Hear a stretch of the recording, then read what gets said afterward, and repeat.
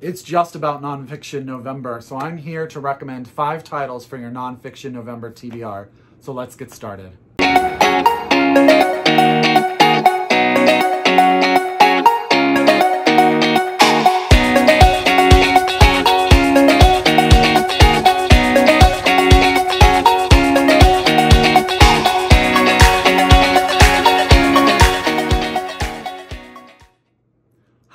Welcome back to my channel. It's Russell with Ink and Paper Blog. How are you doing today? I hope you are doing absolutely fantastic. It is about that time. Nonfiction November is right around the corner. Now, I don't tend to participate a ton in no- Nonfiction November because I don't read a ton of nonfiction.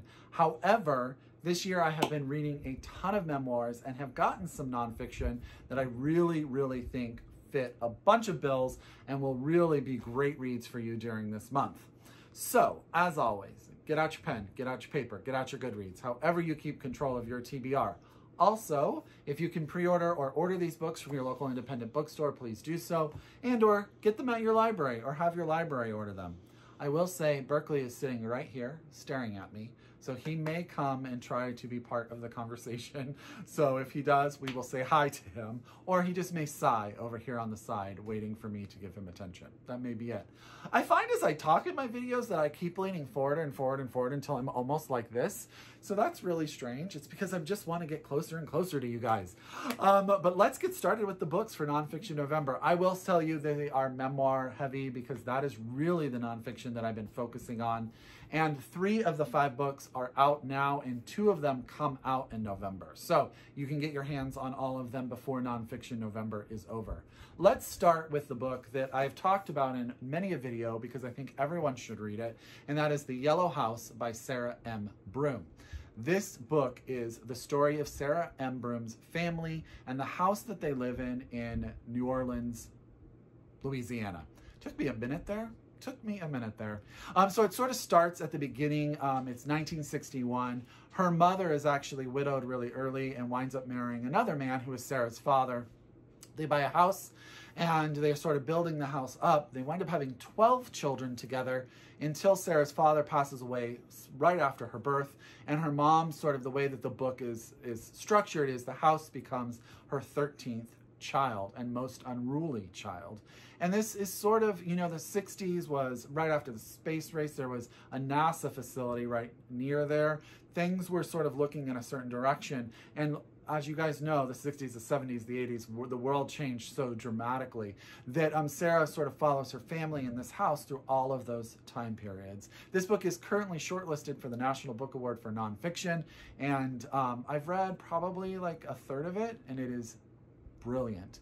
And that is The Yellow House by Sarah M. Broom. Out now. Get your hands on it. Read it. You will love it. I promise. The next one is also, actually, I'm not going to say, I'll tell you the one that isn't a memoir. How about that? Ordinary Girls by Jaquira Diaz is out now from Algonquin Books. This is the story about growing up Latina and queer. It's, sep- it's sort of two places, Puerto Rico and Miami Beach, I believe. Yes. Um, her family is split apart as her mother battles schizophrenia. She was supported by the love of her friends.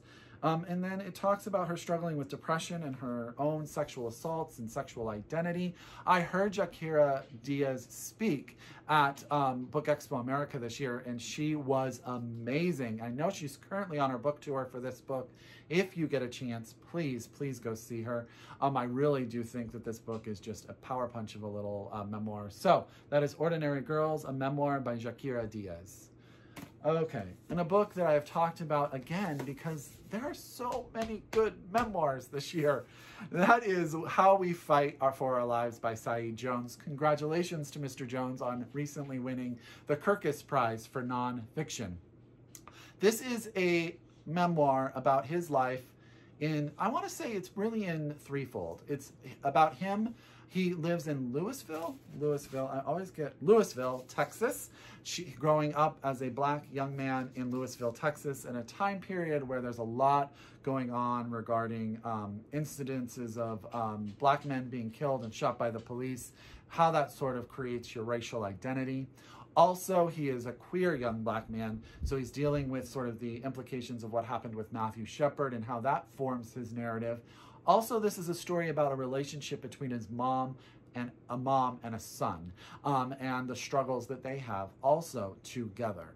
Um, this book is powerful and I bawled my eyes out at the end of this book. I really, I did. I really, really did. He winds up going to Western Kentucky University where he really comes into his sexuality and his awakening where an, a horrible incident occurs that really sort of grounds him and who he is and the decisions he's making regarding his sexuality. I'm not going to give it away um, because I want you guys to experience that. But Saeed Jones, by nature, is a poet, and this book reads like poetry. It is heart wrenching and gorgeous and just perfect. And that is How We Fight for Our Lives by Saeed Jones. Okay, the next two books come out in November. And um, so I will tell you to pre-order them and have them on your list. One is this amazing, amazing memoir called In the Dream House by Carmen Maria Machado. This is coming out from Graywolf Press.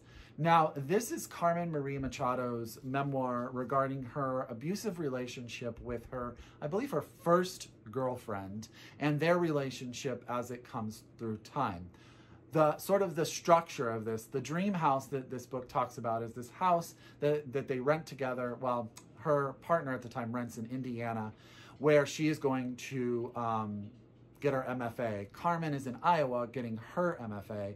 And this house is sort of be, supposed to be where they build their relationship. And it's sort of this dream idea of this perfect relationship, this perfect house that she's going to share with this woman that she loves. However, that relationship goes toxic.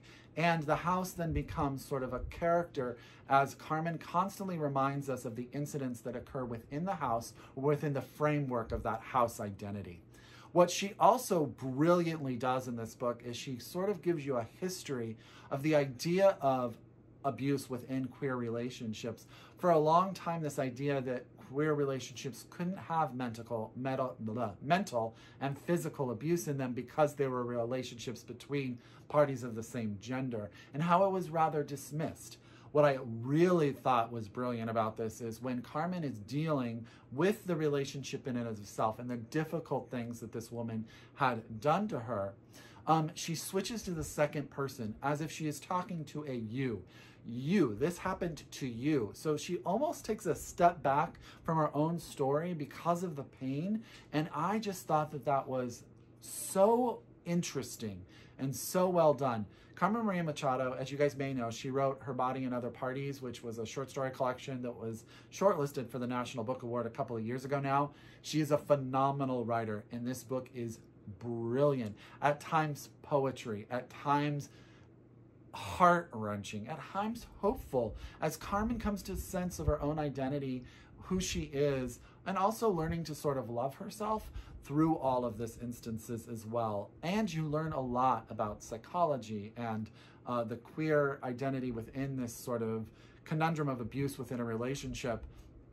It, yeah, it, this you guys, this this book is worth every minute you will spend in it. So that is In the Dream House by Carmen Maria Machado. And again, this is out in November. You can get your hands on it from Graywolf Press. Just take a moment. The cover is phenomenal. It's phenomenal. Last but not least is a book that actually came to me very, very recently.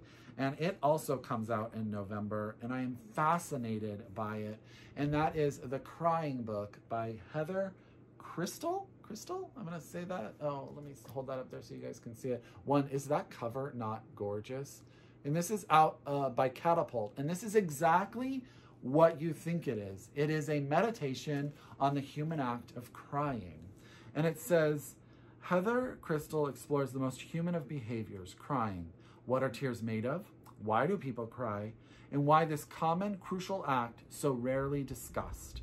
Cristle unpacks the biological reason for tears and investigates the influence of crying on art, politics, feminism, race, and culture, all while opening up in the intimate personal story of her own tears from the suicide of her close friend to her family's history of depression to her pregnancies, both planned and unplanned. Whew, I may be reading this one pretty soon, and I have a feeling, I know this sounds silly to say, there are going to be tears. And so that is The Crying Book by Heather Cristle. Again, this is out from Catapult, and this comes out in November. I want to say it comes out on November 5th. I apologize, I don't know the exact date, but get your hands on it. It will fit into Nonfiction November. I absolutely promise. So there you go. I'm going to stack that a little bit differently. Those are five titles for you for Nonfiction November. Five amazing books that I think will really fit the bill for the month and also probably touch the heart, teach the brain, and just stay with you longer than a single reading experience.